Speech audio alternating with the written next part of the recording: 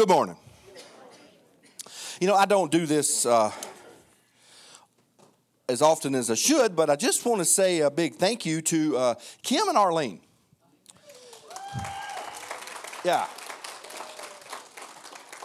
Who uh, just, you know, every Sunday they're here, they're playing, they get us in the mood for worship, you know, just some beautiful music. And so, ladies, thank you very much for uh, what you uh, do here for the church. Um, for the rest of you, welcome.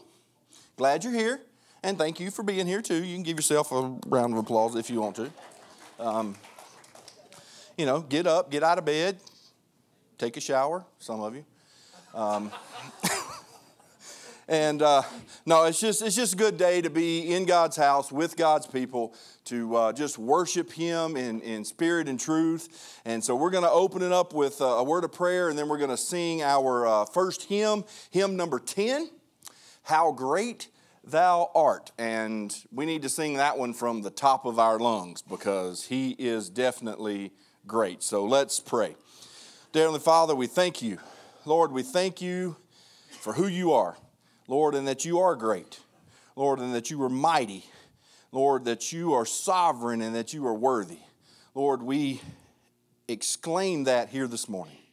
Lord, just uh, help us to, to worship you this morning for who you are. Lord, help us see you in a new light today, see your greatness. And it's in Jesus' name we pray. Amen. Oh Lord my God, when I in awesome wonder consider all the worlds thy hands have made, I see the stars, I hear the rolling thunder thy power throughout the universe displayed. Then sings my soul, my Savior God, to thee. How great thou art, how great thou art. Then sings my soul, my Savior God, to thee. How great thou art, how great thou. When through the woods and forest glades I wander and hear the birds sing sweetly in the trees. When I look down from lofty mountain grandeur and hear the brook and feel the gentle breeze. Then sings my soul, my Savior God, to thee. How great thou art, how great thou art. Then sings my soul, my Savior God, to thee.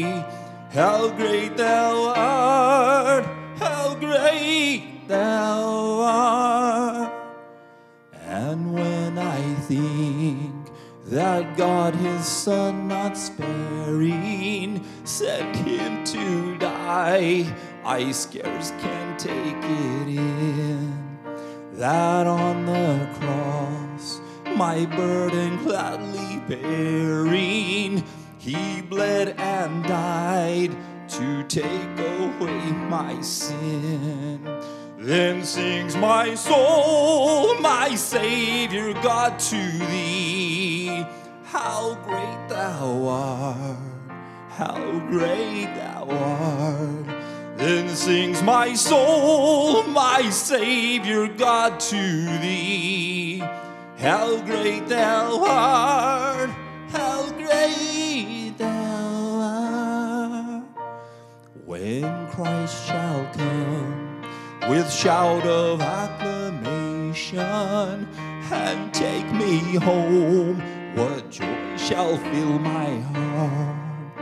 Then I shall bow in humble adoration and there proclaim, My God, how great thou art! Then sings my soul, my Savior God, to thee. How great thou art, how great thou art. Then sings my soul, my Savior God, to thee. How great thou art! How great thou art! Dear Heavenly Father, we, we have a lot this morning to uh, come to you about. Lord, from, from injuries to, to sickness and illness, Lord, through uh, death and mourning. Lord, that uh, just shows us that, that life's hard. Lord, we know that there's tragedy and that there's, um, Lord, but we also know that you are triumphant. Lord, and that uh, you can, can comfort and you can lift up, and Lord, you can uh, mend, you can heal. Lord, and so we ask that you do all of those things in each one of these situations, Lord. Whatever it is that they need, Lord, we know that you can provide. And so, Lord, we ask that you do that. Lord, just provide in the only way that you can. Lord, and let's give us let, let us give you the honor and the glory for it. In Jesus' name we pray. Amen.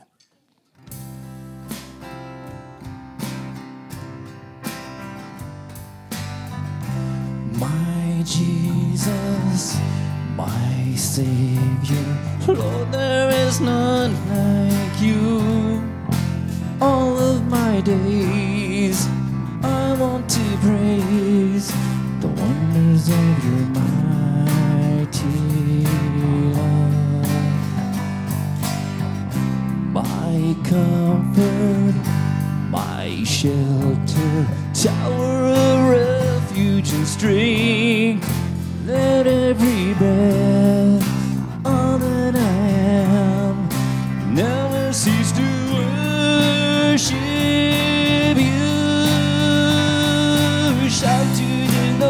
all the earth, us sing.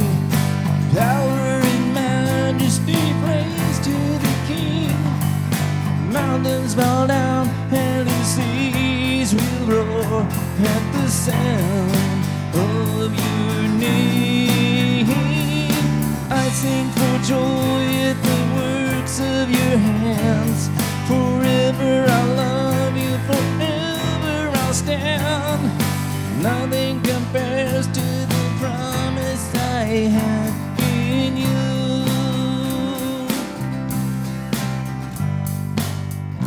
my Jesus, my Savior. Lord, there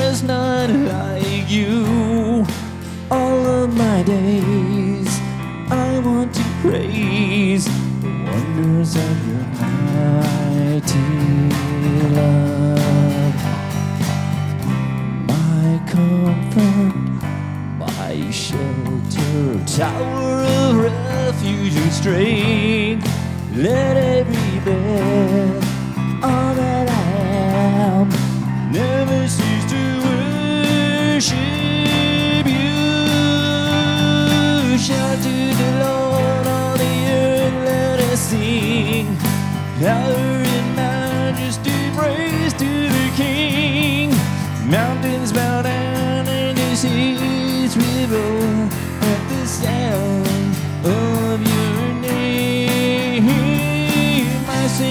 joy at the works of your hands. Forever I'll love you, forever I'll stand. Nothing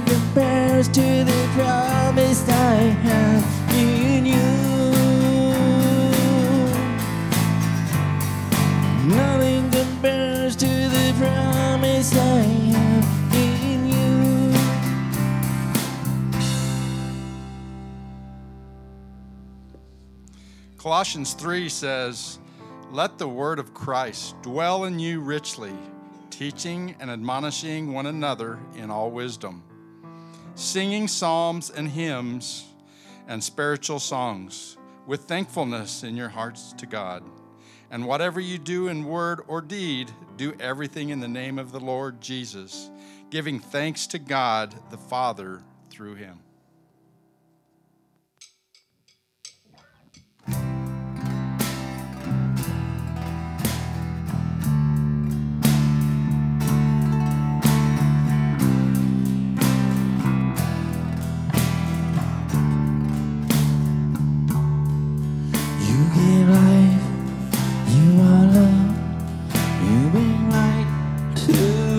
Darkness, you give hope, you restore every heart that is broken.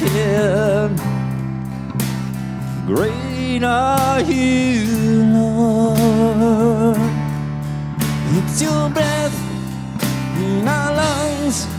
So we pour out our praise, we pour out our praise. It's your breath in our lungs. So we pour out our praise to you, holy.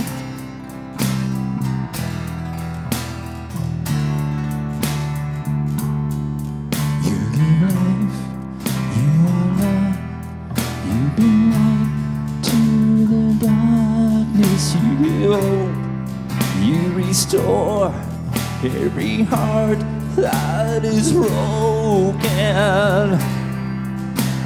Great are you, Lord. It's your breath in our lungs. So we pour out our praise, we pour out our praise. It's your breath in our lungs. So we pour out our praise you, holy.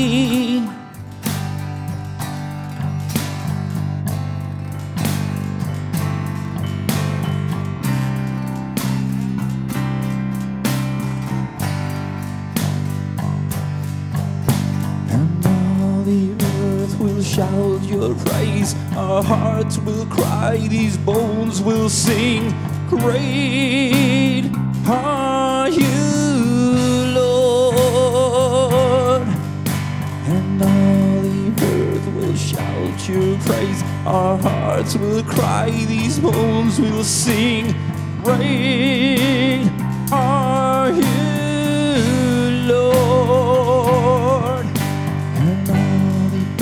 will shout your praise. Our hearts will cry, these bones will sing. Great are you, Lord. It's your breath in our lungs. So we pour out our praise, we pour out our praise. It's your breath in our lungs. So we pour out our praise you, holy. It's your breath in our lungs. So we pour out our praise, we pour out our praise. It's your breath in our lungs. So we pour out our praise to you, holy.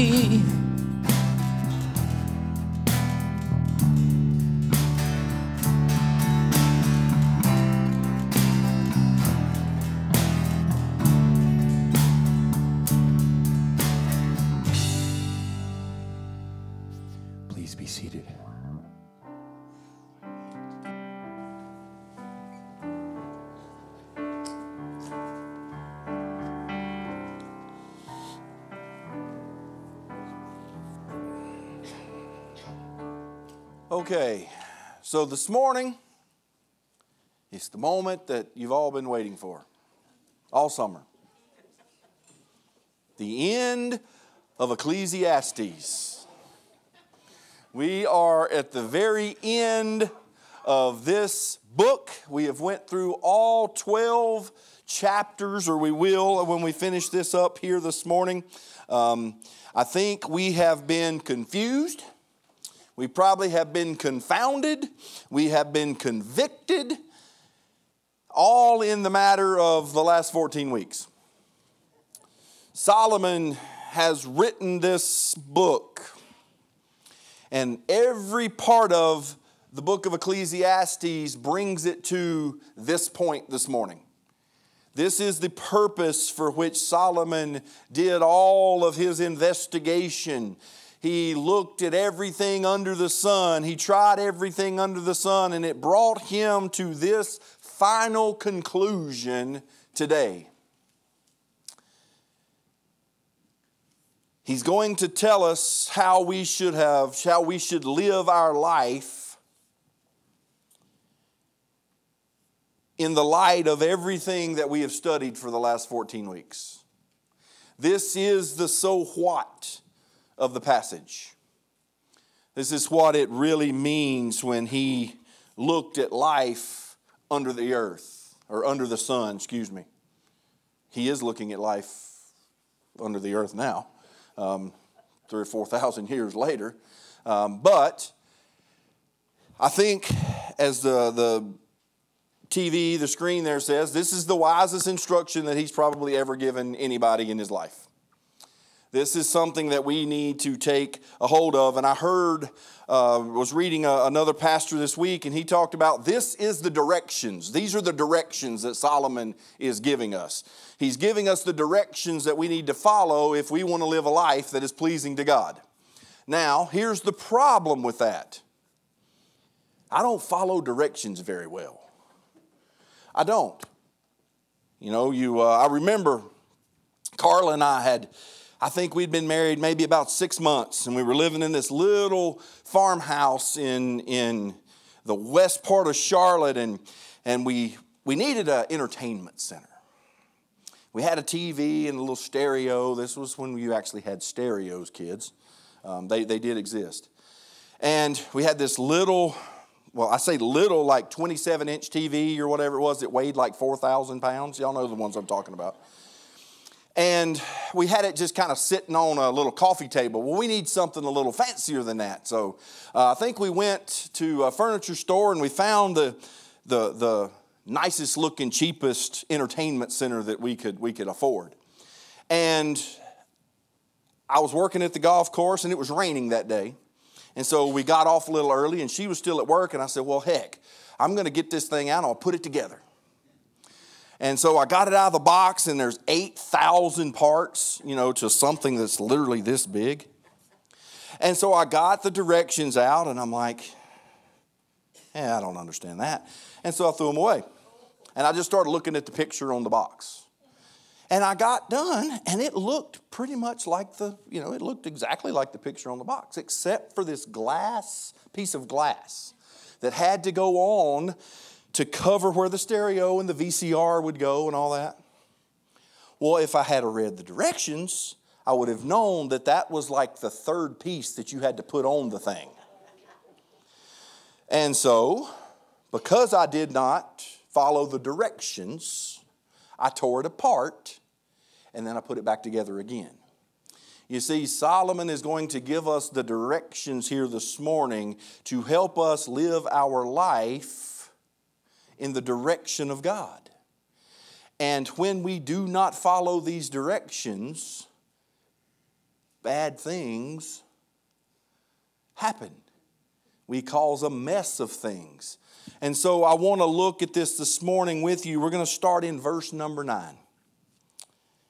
It says, besides being wise, now remember who's writing this. Solomon's writing this, talking in the third person.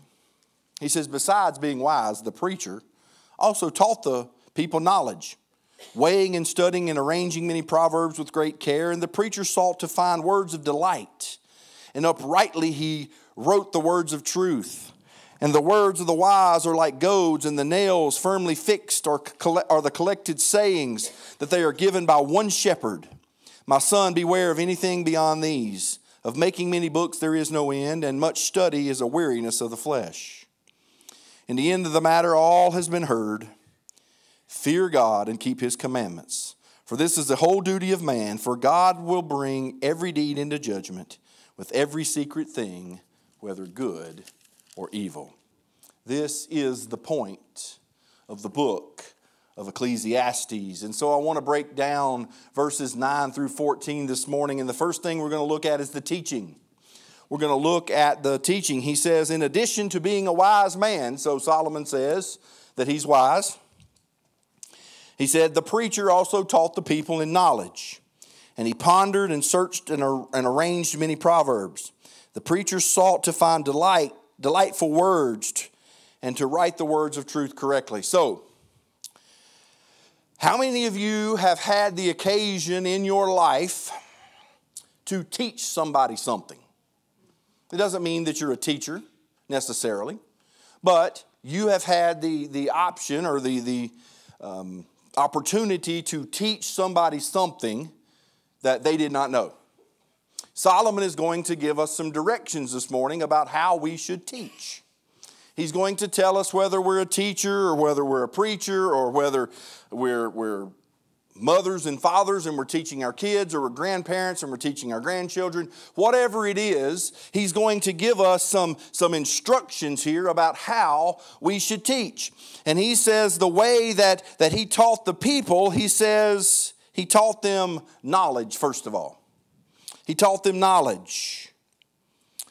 When we teach there has to be something that we teach. There has to be some substance to it. We don't just get up here. Now, maybe some of you think I do on Sunday morning, I don't know. But we don't just get up here and start running our mouth to hear our teeth chatter. There has to be something of substance behind what we're saying. There has to be some knowledge that is imparted. But he says he taught the people knowledge. He wasn't just teaching the knowledge, he was teaching the people. You see, Solomon, what he was doing is he was teaching a subject to the people so that they could understand it. He understood his audience, first of all. He understood what they were, what they needed. He understood the subject, and so he was putting it to them in a way that was relatable. He wanted to be able for them to understand it and then apply it to their life. It says that he pondered and he searched many and arranged many proverbs. It means he was diligent. He knew his subject that he was teaching thoroughly. You know, Solomon said what? That everything, he had studied everything under the sun that he had either done it or he had looked into it, but he was diligent in trying to find the knowledge. It doesn't do us any good to teach something we don't know anything about. That don't stop a lot of people today. But you've got to understand what you're trying to teach. I can't teach calculus. Just going to go ahead and tell you that. Wouldn't even attempt it because I've never understood it from the time I took it to today, I don't know anything more about calculus than I did when I started. So for me to be able to teach it, I would have to do a lot of diligent study to be able to regurgitate something back. You know, I, we talk to our ball players all the time, and, and from, from youth all the way to, to um, the college level. If you want to really understand something completely, Guess what is the best way to do that? To teach it. And so, several years ago, we used to have the college kids give camps to the little kids because how were they going to teach the kids something they didn't know anything about? They had to learn it first before they, and that's what Solomon did. He said he had to learn it so that he could teach it. And then he said that he used, sought to find delightful words, or as some of your translations might say, just the right words. It's not enough when you teach necessarily just to have words, but you have to have the right words. Words that people can understand, words that people can relate to. Solomon tried to make it interesting so that people would not just fall asleep while he was teaching. This was probably 25 years ago. My assistant and I went down to the uh, Golf Course Superintendents Association, uh, the Carolinas Association meeting at Myrtle Beach. And we were going to take a class on different turf grass diseases. This was a class that we really needed to freshen up on because there were some new diseases that they had, had identified that were affecting turf grass in different ways, and we needed to make sure that we, we were up on it so that we could be on the lookout when we were managing the golf course. And so this class was supposed to be from 8 in the morning till 4 in the afternoon with an hour break for lunch. And this doctor, this PhD from Clemson University, was going to give the, the lecture that day. And he was a very, very, very smart guy. I had met him uh, a time or two before. We had done some, some trials out on the golf course about some stuff. Brilliant man. We go in at 8 o'clock, and he opens up his lecture book and he puts the pictures on the screen and he says, Let me begin with Brown Patch. Brown Patch, Rhizoctonia, whatever, whatever. And this went on for two hours. Finally, we had our first break, and I looked at my assistant and I said, I ain't doing this. Not for six more hours. It ain't happening. He said, You ain't going to get credit. I said, I'll just have to take this class again later because I'm going home. And so back to the hotel we went because there was no way I could sit through that for eight hours. Wasn't going to happen, right? And so the man was smart, brilliant, knew his subject matter thoroughly, but he could not find the right words to use to keep people interested. It would literally have put you to sleep to sit there for six or eight hours. Solomon said he wanted to be effective in his communication so that he could capture the attention of his readers, to his listeners. And so he was knowledgeable, he was diligent, he used the right words. But here's the most important thing about teaching anything it says the preacher sought to write the words of truth correctly. Solomon wanted to communicate the truth to people. He wasn't just teaching something, he was teaching the truth. And unfortunately, in our culture today, truth is not something that is celebrated. The truth is not something that is celebrated. And the reason it's not is because people have bought into that the truth is relative. The fact of the matter is, people have really bought into the idea that I can have my truth, and Miss Arlene can have her truth, and Carla can have her truth, and Gary can have his truth, and Jim can have, and we can all have a different version of the truth. And it's true to us no matter if it's true to anybody else. Well, what is the problem with that? You can't have two things com- that say they're equal at the same time. It can't, it can't happen. You can't have this one that says it's the truth and this one that says it's the truth, and they are offering different opinions at the same time. It can't happen. One of those, or both of them, have to be wrong, but they both cannot be right in the same context. It can't happen that way. But people say, oh, yeah, yeah, you can have your truth and I can have my truth and we can just go on living in the truth. Well, guess what? A lie all dressed up in eloquence is still a lie. The problem with the truth and why people don't like the truth is because sometimes the truth hits you right in the face. It stares you right in the face and it convicts you of what you're doing. The truth sometimes hurts, especially when you're not living according to the truth. You know, when Jesus came to earth and he started his earthly ministry, did he tell the truth? All the time never told anything that wasn't the truth. Did people love him for telling them the truth? No. He told the truth about the Pharisees, right? He told the truth about the religious leaders, the Sadducees. He told the truth about our condition before the Father. And he told the world that they were sinful, and unless they got right with God through him, what was going to happen? They were going to die in their sins. The truth hit them right in the face, the reality of what he said. Solomon has done the same thing in this book. He has told us the truth. We might look at the book and read some of the things he said and thought, you know what? He's out of line here, but he ain't wrong. We might have thought that, but there's nothing in there that we could look at and say, you know what? He's wrong about that. When you study it, everything that he said was correct. It was the truth. And it shouldn't surprise us because the Bible is full of truth. The Bible is all truth from the beginning to the end. There's no lie. The Word of God is infallible, it's inerrant. And so everything in there is the truth. That's what Solomon said. I am going to write down the truth that you can have it through the Word of God.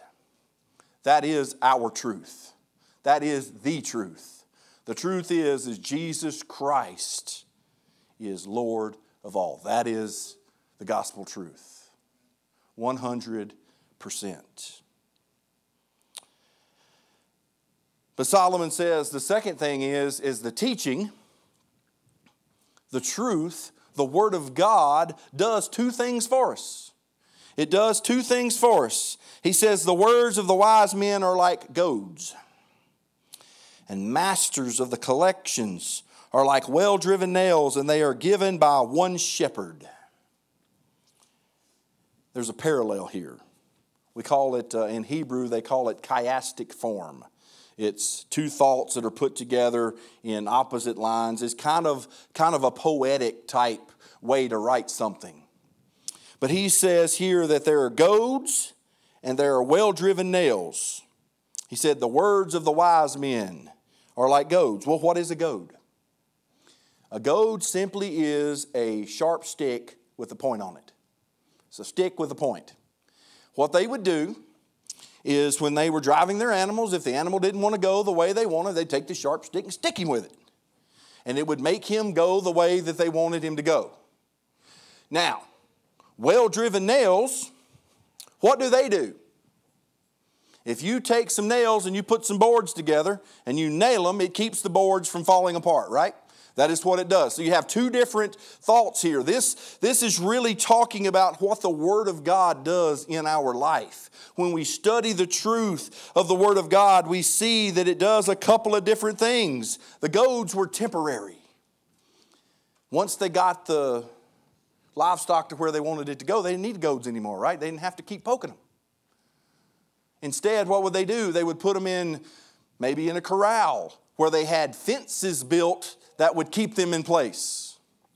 Look at it like this the goads were temporary, the nails are permanent. The goads were used to create movement, the nails were used to hold something in place. Hebrews 4:12 says that the word of God is living and powerful and sharper than any two-edged sword. You say, well, how does this all work out? And, and, that's nice to know about goads and nails, but how does this work out in our life? Well, the Word of God does two things for us. The first one is when we get comfortable. And we do get comfortable. We like comfort. We like it the way we like it. We don't like change. And so we, we get comfortable, but then sometimes we run across a piece of Scripture and we read it, or maybe we hear it preached from the pulpit, or we hear it on the radio, but we hear the Word of God and it speaks to us and it begins to move us out of our comfort zones. It moves us to a different place and it pushes us to do things that we ought to be doing. But maybe we're not doing because it's uncomfortable. You see, in the Christian life, sometimes we have to get comfortable with being uncomfortable. God does not use His Word to just make us settle in and sit in a pew. He uses the Word like a goad to get us out of the pews and into the communities and into the world to be able to spread the gospel message. I had a pastor this week at the, the Southern Baptist uh, Convention of Colorado, and he was talking about comfortable comfortableness in the church. And he says to him, uh, the church had lost a lot of its passion because it had gotten too comfortable. He said, and he said he was, he was originally from Cuba. He was originally from Cuba, and he said the symptom happened in the Cuban church before the communist revolution in Cuba. And he said, so what happened was that the church lost its passion, and so God brought persecution to move the church out of its comfort zone. He said, here's the problem with the church in America is it has grown comfortable today, and so we need to regain the passion before God sends the persecution. He said, but either way, God's going to use His word to move His people to do His work. He said, it's our choice either regain the passion or suffer the persecution. God uses the word to drive us out of our comfort zone, but then also, like the nails, he uses it to anchor us in place. You might have had times of struggle, times of turmoil, times to where you feel like you're just you're in a boxing match with Mike Tyson. And that you're just taking uppercut after uppercut after uppercut. And if that ain't enough there's somebody in the back behind you throwing haymakers. And you just keep catching them right in the forehead. Doesn't matter what you can do you can't escape it you feel like that's the way maybe your life has been going that you're just in this constant storm and being tossed to and fro. Well, see, the Word of God also acts as a haven of stability.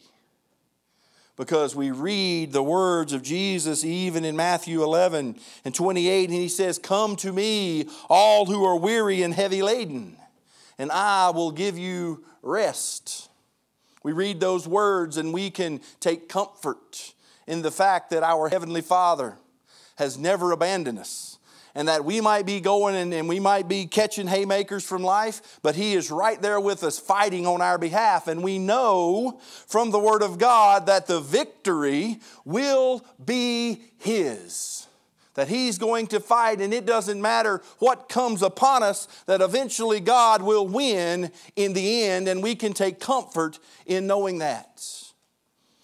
You know, one of my favorite pieces of Scripture in all of the Bible is, is the book of Jude. And at the very end of the book of Jude, there's a doxology.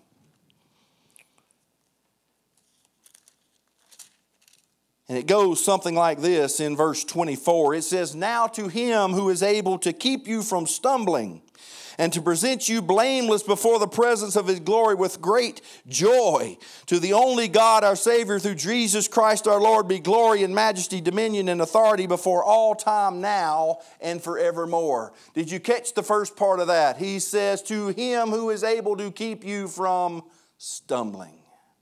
You might be catching the haymakers this morning, but God's going to keep you on your feet. He's not going to count you out. He's going to pick you up and He's going to nail you in place on the solid rock of Jesus Christ.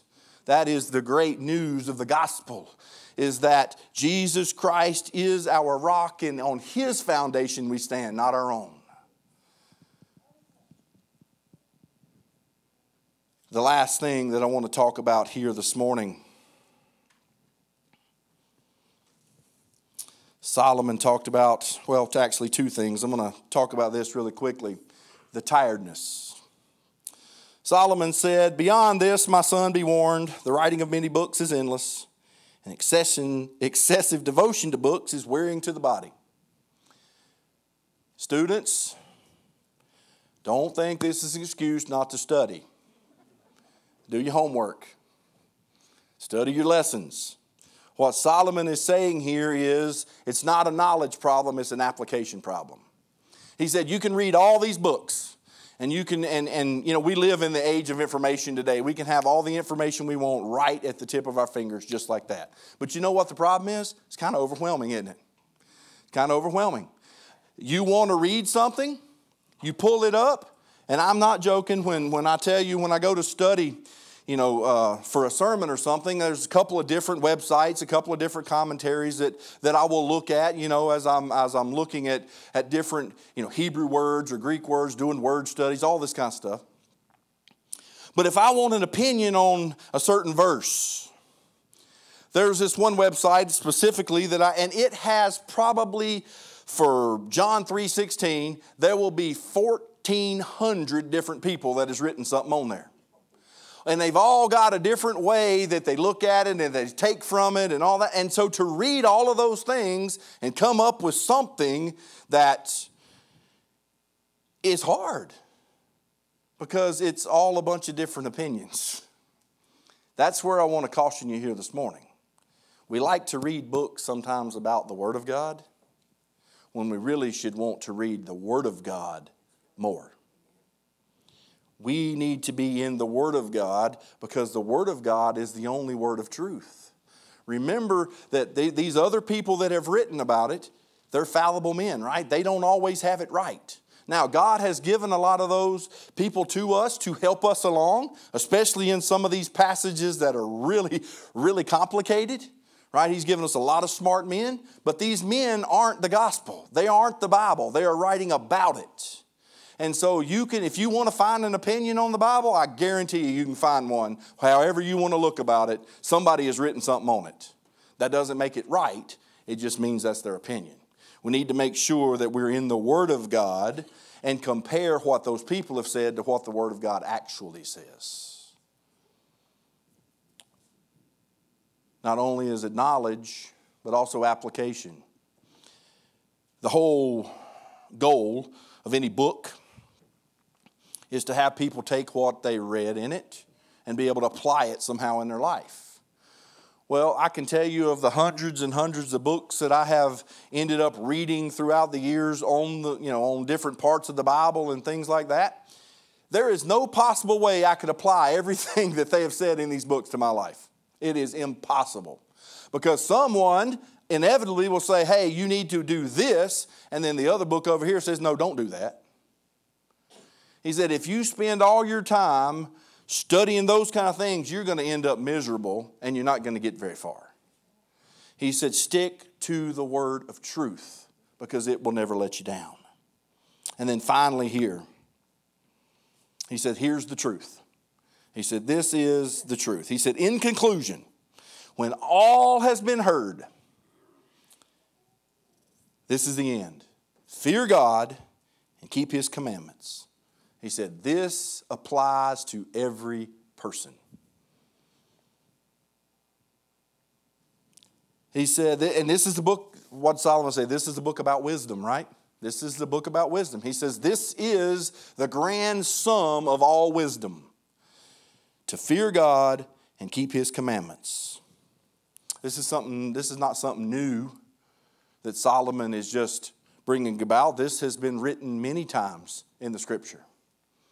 Job chapter 28 says, Behold, the fear of the Lord, that is wisdom, and to depart from evil is understanding. Psalm in 111, it says, The fear of the Lord is the beginning of wisdom. A good understanding have all of those who do his commandments. His praise endures forever. Proverbs chapter 1, verse 7, it says, The fear of the Lord is what? The beginning of knowledge. But fools despise wisdom and instruction. This is not something Solomon just came up with. This is something repeated throughout Scripture. And so when we see it repeated time and time and time again, it's probably something that we ought to take a look at a little more seriously. So, what does it mean here? What does it mean to fear God? It means that we should have a reverence for God as the holy, sovereign, incalculable creator of this universe.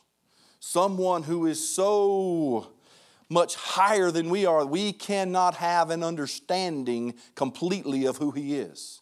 It's beyond our possibilities to know God as completely as He is.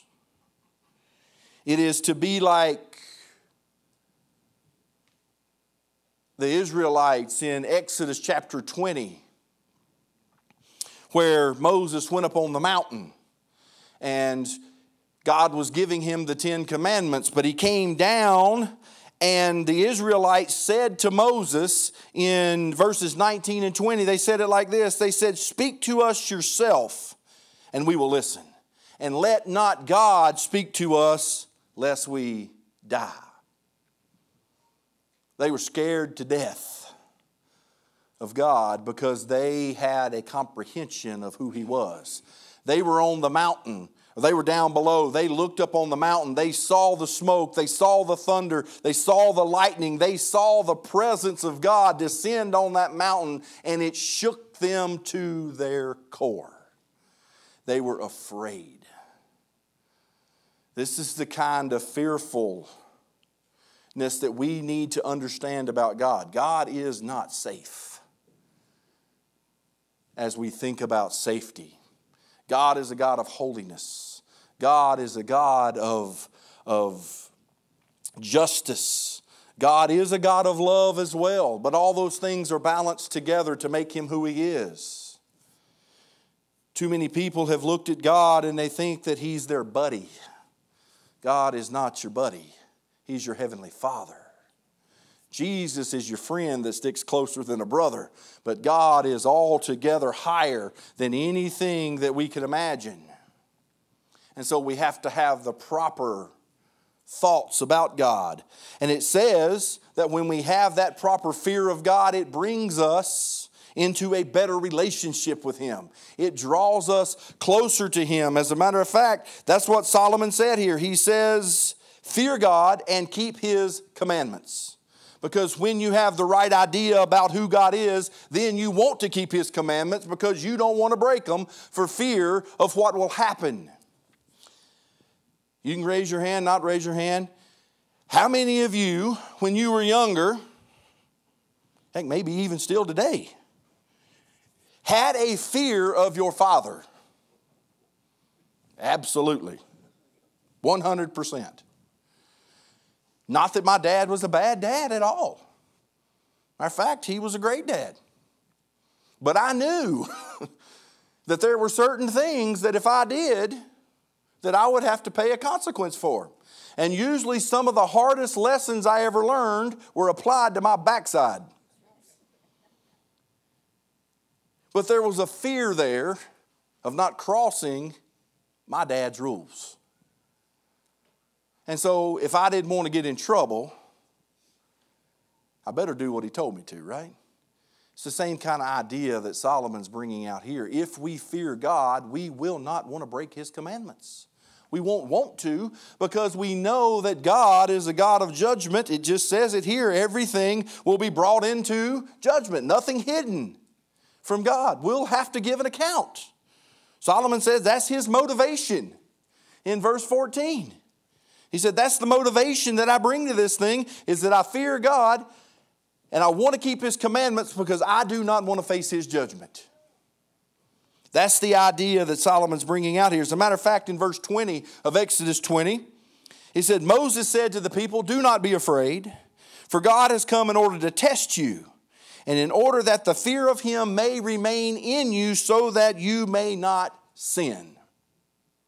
The fear of God will restrain sin in our life. It doesn't mean we're going to live a life that's perfect, but it does restrain sin in our life because when we have the right idea about who God is, we do not want to offend Him. We do not want to go against Him. And Solomon says this applies to everybody. This isn't just for, for me and a few other selected ones. No, he says this is the end of all men. This means for everybody.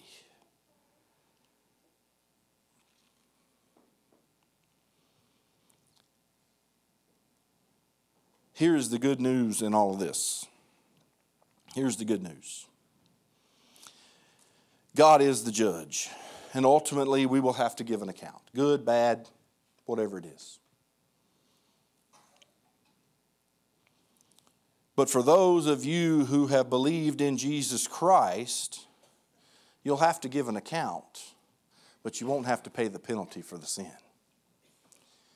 And so when you look at God and we look at Him as, as this holy other entity, so much higher than us, we also have to look at His other side, which is grace and mercy, because He's offered that to us in place of His judgment.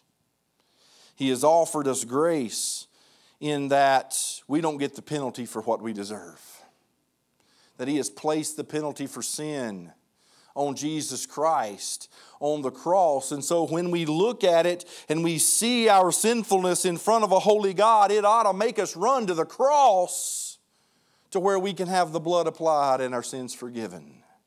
And then, as we sing this morning, we can sing to God, How great thou art, because you have taken the penalty of sin, you've applied it to your Son on the cross, and I am free. That is the greatest news that any of us could ever, ever, ever have. But we have to go to the cross of Jesus Christ first.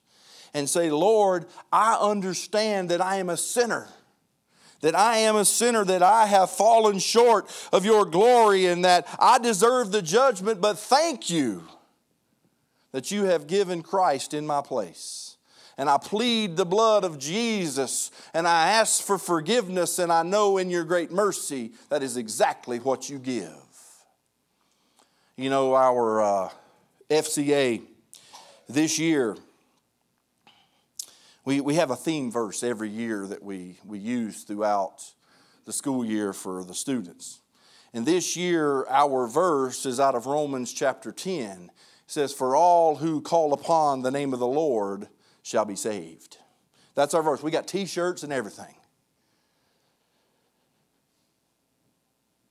But it's not just a verse that we put on the back of a t shirt. This is a verse that we have to live out in our life. It's a verse that says to those who call on the name of the Lord, those who have asked Jesus Christ for forgiveness, they have called on His great mercy and His love for us. Those are the ones who will be saved. Not just will be saved, but are saved. Those who call on the name of the Lord or have called on the name of the Lord, guess what? You're saved. Those of you who hadn't called on the name of the Lord, you're not saved.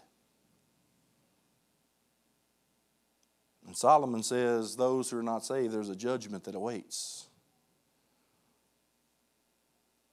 I want to make sure that you understand that this morning the difference between facing God in judgment, knowing the penalty has been paid already, or facing God knowing that you're going to have to face the penalty of your sin. There's a world of difference in those two views. And so this morning we're going to have a, a time of, of invitation. We're going to sing hymn number 572. If I can get it over there, because I don't always remember the words to all the hymns. So we're going to sing hymn number 572. I love to tell the story. We're going to sing hymn uh, verses number 1 and 3. But I'm going to leave you with this verse right here out of Psalm chapter 32. It says, How blessed is he whose transgressions are forgiven, whose sin is covered, and how blessed is the man to whom the Lord does not impute iniquity, and to whose spirit there is no deceit. You know how you get to apply that verse? By calling on the name of the Lord in salvation. Let us pray. Dear Heavenly Father, thank you, Lord, that you have offered us salvation in your Son. Lord, that you sent him on the cross to die for our sins. Lord, to take the penalty of sin away. Lord, that we can have life everlasting in him if we will just call on his name and repent. Lord, ask him into our life to save us for eternity. Lord, thank you for that. Lord, if there's someone here who does not know Jesus Christ as our Lord and Savior, Lord, I pray this morning that they will get it right before they leave this place. Lord, that they would turn their life to you and make the wisest decision that they've ever made. Lord, help us to have that fear and reverence. Lord, where we don't want to cross you, Lord, we want to keep your word and do exactly what you have told us to do. It's in Jesus' name we pray. Amen. And so, won't you stand with me? The altar's open. We're going to sing verse number one and verse number three.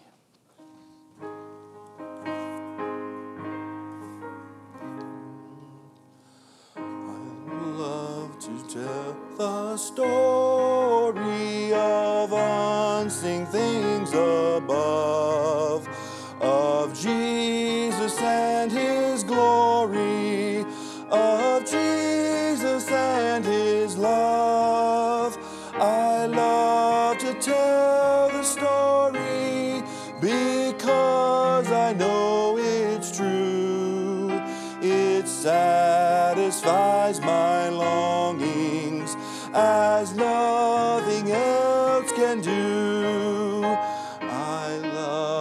love